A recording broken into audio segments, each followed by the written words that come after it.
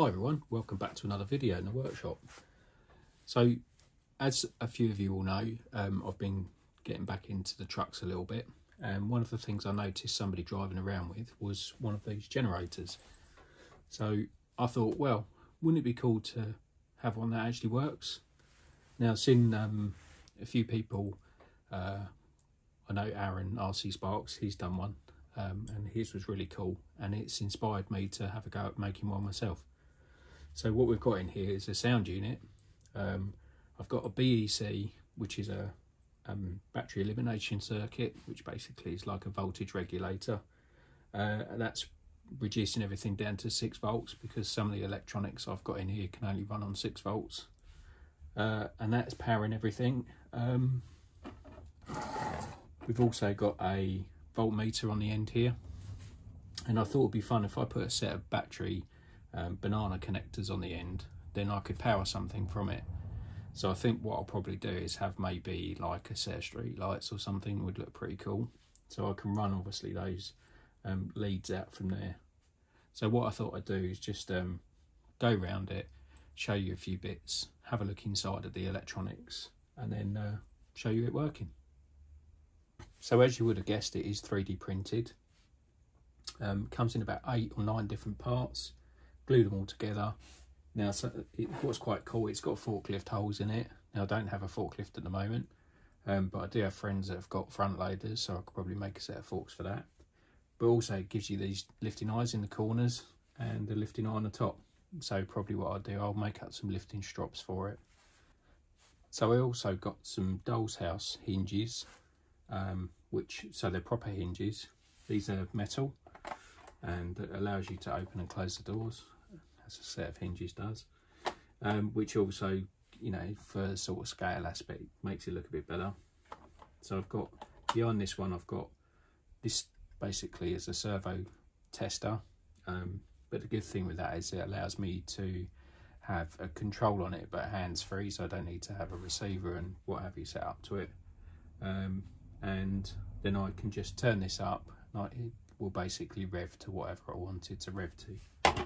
So starting this end inside, we've got the, this is the voltage meter, which is just an LED one, which is available from Component Shop. Um, fantastic guides and, uh, you know, any sort of electronics and what have you, I generally get most of them from there. I've got a 6 volt 3 amp BEC. This is a 2S, so 7.4 volt LiPo. Um, just put a couple of um, 4 mil banana connectors in there to couple that up.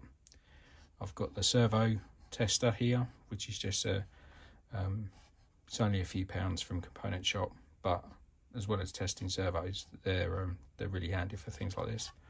And I've got a Sense Innovations ESS dual sound unit in here, which um, I have programmed it to sound like a diesel engine.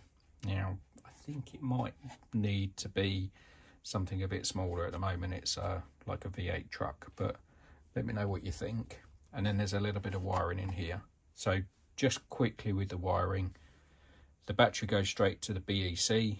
That regulates it down to 6 volts, which that goes into the servo tester, um, which controls the sound unit, but it also powers the voltmeter and the banana connectors. So basically everything is going through the BEC. Now, it is a 3 amp.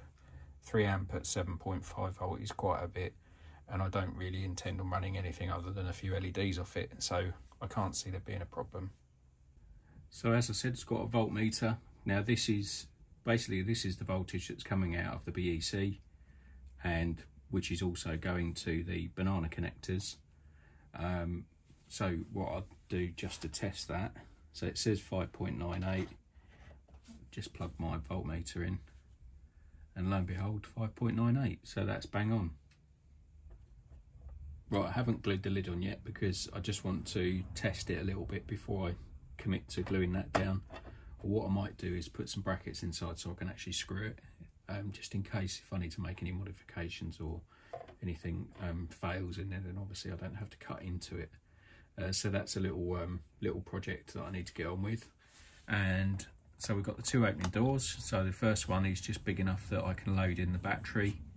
I'll probably put a bit of um, Velcro on there as well, just to stop that from being able to move around.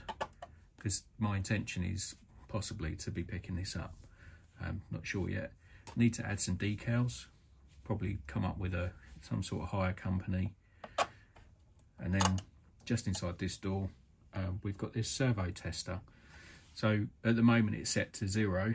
And what that allows us to do is, if you imagine um, you've got your transmitter and you're increasing your throttle, then this will simulate exactly the same as that. So what I'll do, I'll turn it up and then eventually the sound unit should cut in as if obviously you were accelerating.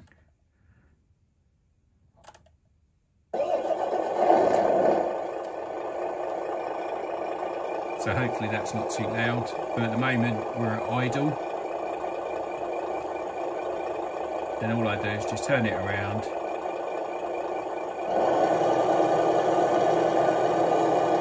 and then that just picks up the reds.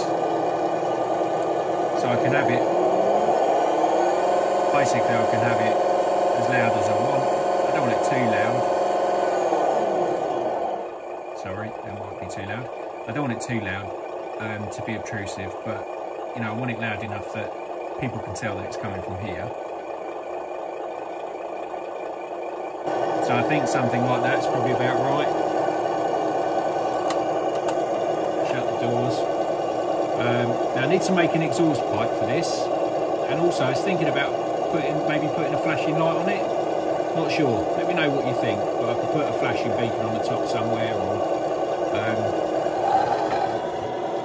also maybe like a couple of flashy lights here and uh, I need to get some stickers made up.